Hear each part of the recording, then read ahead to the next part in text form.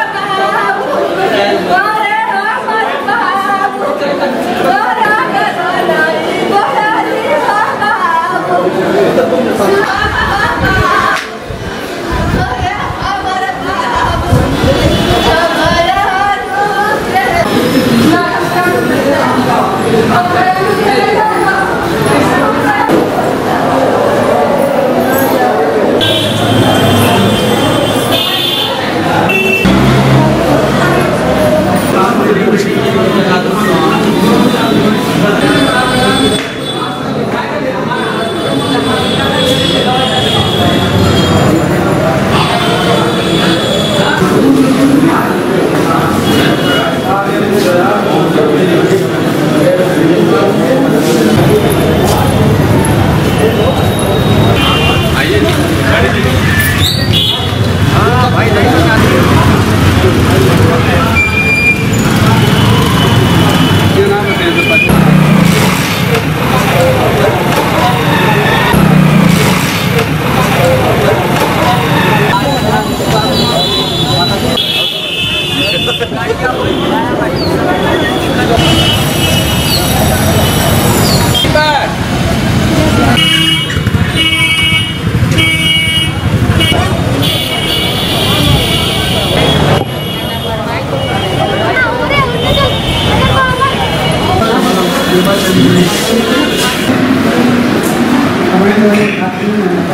मेरा शिव प्रताप नाम है, मैं पेशेंट का भसुर लगता हूँ। परसों लाए थे हम एडमिट कराए इमरजेंसी में। इमरजेंसी में एडमिट कराने के बाद में डॉक्टर ने बदतमीजी किया माता जी को भैंस वगैरह बनाया और अतिशय लापरवाही बरता। और ये चौधरी जो है, रोज़ प्रतिदिन एक पेशेंट मार रहा है। और मेरे पेशेंट को हल्का फुल्का फीवर था और थोड़ा सा सांस फूल रहा था। और आज इंजेक्शन लगाया है। इंजेक्शन लगाते ही मतलब मुख से गाज जीव निकल गया, गाज वगैरह फेंक करके नाक से पानी आया और ऑन स्पॉट मर गई।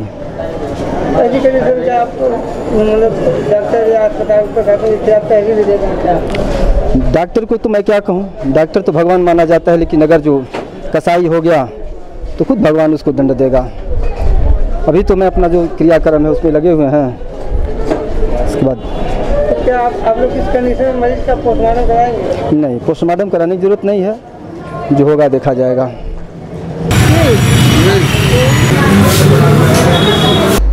जिला अस्पताल में मुझे भी संज्ञान में आया है पता चला है कि अनुराधा पांडे 21 साल उम्र की एक महिला एक लड़की कह लीजिए रात में शनिश्चर की रात में करीब एक बजे डेढ़ बजे के करीब भर्ती हुई थी और इमरजेंसी मेडिकल ऑफिसर ने उसे भर्ती किया था।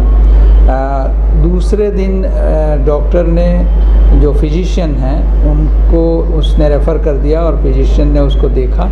देखने के बाद कुछ उसमें जांचें एडवाइस की और चूँकि दूसरे दिन इतवार था संभवतः इस वजह से वो जाँच नहीं हो पाई या नहीं करा पाए वो। और पता ये चला कि सोमवार को सुबह के टाइम उसका देहांत हो गया। मैंने उन चिकित्सक को बुलाया था, उनसे बात किया और उसके बाद मैंने उनसे कहा कि आप ये कैसे जस्टिफाई कर सकते हैं कि 21 साल की यंग लड़की हमारे मंडलीय चिकित्सालय में और जो कि सिर्फ़ सिर दर्द और बदन दर्द और कमज़ोरी करके आई थी और वो उसकी डेथ हो जाए। तो वो कोई संतोषजनक जवाब नहीं दे पाए और उन्होंने ये कहा कि वो संभवतः मेरे हिसाब से सर, सांस उसकी रुकने से मृत्यु हुई है और वो पुरानी ट्यूबरकुलोसिस की मरीज़ है। तो मैंने उनसे कहा कि नहीं, ये सब तो आपको जाँच करा लेनी चाहिए थी। फ़िलहाल, जो भी कमियाँ पाई गई हैं उनके इलाज में। उसके लिए मैं एस आई सी महोदय को कोई शिकायत पत्र मिलेगा तो उसके तहत एक टीम बना के, अन्यथा एस आई सी महोदय से कहूँगा कि आप उस चिकित्सक के बारे में और उनके इस मरीज़ के ट्रीटमेंट के बारे में एक जाँच करा लें और देखें कि किसकी गलती है और गल, जिसकी गलती है उसको वाजिब सज़ा मिलेगी और भविष्य में ऐसी चीज़ ना हो, इसके लिए भी मैंने उनसे अपेक्षा की है कि इसका एहतियात बरता जाए।